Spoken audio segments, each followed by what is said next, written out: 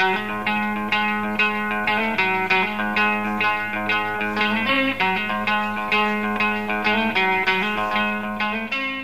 hai. Assalamualaikum warahmatullahi wabarakatuh. Selamat datang kembali. Selamat berjumpa lagi dengan channel ini, channel saya Derang Indra. Dalam rekaman video iseng masih seputar adenium yang di-share secara free di dunia maya.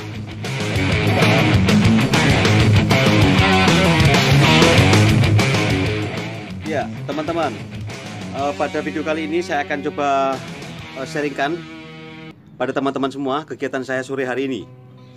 Nah, beberapa waktu lalu saya melakukan proses perbanyakan adenium ya yang menurut saya varian ini cukup jarang ya, sehingga saya perlu berhati-hati untuk melakukan proses perbanyakannya. Ya, saya dalam hal ini menggunakan teknik semi cangkok bagi teman-teman yang baru saja menemukan channel ini seperti apa teknik semi cangkok dan mencangkok teman-teman bisa tonton video saya sebelumnya ya tentang hal itu. Nah tentang proses ini teman-teman saya melakukan penyayatan pada salah satu bagian cabangnya lalu saya memberinya ganjel supaya dia tetap terbuka. Nah di bagian terbuka ini saya e, menemukan kondisi luka sudah penuh uh, calon akar ya.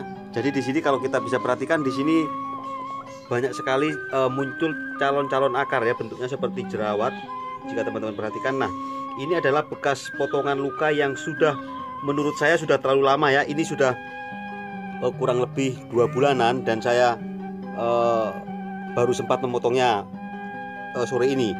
Nah di sini kalau kita perhatikan, nah ini teman-teman Ya, sekali lagi ini saya menggunakan perbanyakan dengan teknik semi cangkok yaitu melakukan penyayatan uh, sayat samping pada salah satu cabang atau rantingnya ya disayat separuh cukup masuk setengah bagian saja lalu kita memberi ganjel. Ya teman-teman bisa tonton video eh, saya sebelumnya tentang hal ini.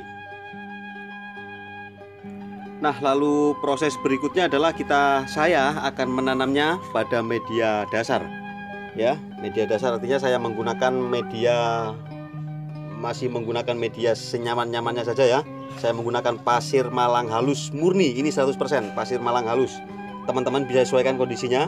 Kalau sudah terbiasa dengan media campuran misalnya dengan e, dicampur dengan sekam setengah matang atau sekam bakar juga boleh silakan. Yang pasti usahakan dalam kondisi seperti ini karena akar-akar masih terlalu muda ini kondisi seperti ini saran saya jangan dulu diberi uh, pupuk apa pun ya pupuk organik maupun pupuk apa pun. Ya jangan dulu ya. Jadi uh, kondisinya masih murni uh, pasir malang halus. Ini yang saya lakukan. Nah satu lagi teman-teman. Dalam uh, penggunaan media ini sebaiknya juga tidak terlalu banyak menggunakan uh, pupuk kandang. Ya terlebih dia tidak terfermentasi sempurna. Kalau yang mau digunakan gunakan saja dosis rendah sedikit saja sebagai campuran dan pastikan sudah terfermentasi sempurna. Oke nah setelah kita menanamnya seperti ini karena ini akarnya masih baru saya akan mengganjalnya e, memberi penahan ya seperti ini. Ya jadi saya akan memberikan penahan seperti ini. Oke lalu kita timbun medianya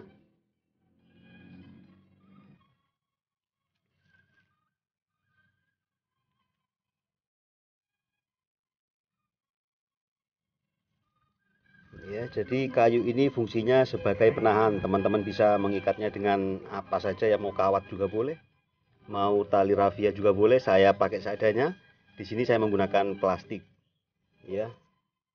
Jadi yang penting dia intinya adalah tujuannya agar tanaman ketika dalam kondisi uh, akar masih muda seperti ini dia tidak mudah roboh ya karena ini rentan. Ya. Oke nah oke setelah seperti ini lalu kita menimbunnya. Dengan media yang sama kita cukup mengurutnya seperti ini teman-teman.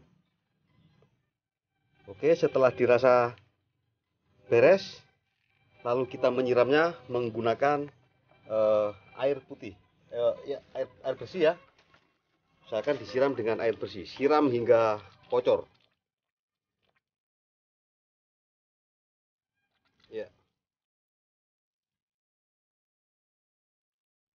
Oke, lakukan penyiraman ini hingga kocor, hingga air mengalir dari dasar pot.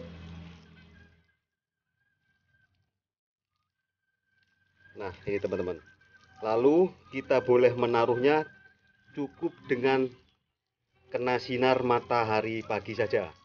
Sementara seperti itu. Teman-teman juga eh, memotong sebagian daunnya ya, yang daun tua-tua ini teman-teman juga bisa memotongnya ya saya akan melakukannya uh, setelah ini ya.